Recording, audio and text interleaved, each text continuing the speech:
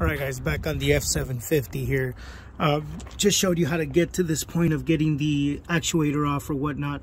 So look at what I'm discovering right now. I'm noticing that this arm that moves the actual, this is the lever slash arm that moves the actual VGT inside of the turbo in here, okay? This arm seems to be, see, okay, moved okay right there, but it, it's not moving all the way up. You see that line? It should go all the way up to that line. You see that line? See it right there?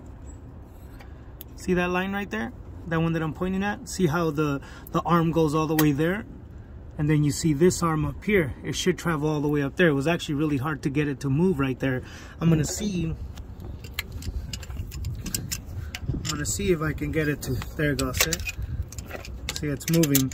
I, I wanna say that that the actuator is not even having a problem. I believe they're just gonna have a problem with the with the turbo being being too dirty. So, but that usually will burn it out. There you go. See, there you go. Now, now it's starting to to release and go back and forth. Yeah, a little bit. I think it's still a little bit on the rough side, but I'm gonna see how we can get that done.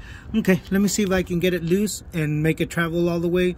If not, I'm gonna have to pop this turbo off so I can clean the VGT inside. Uh, let me see if I can avoid doing that, but if it needs to be done, it needs to be done. All right, be right back.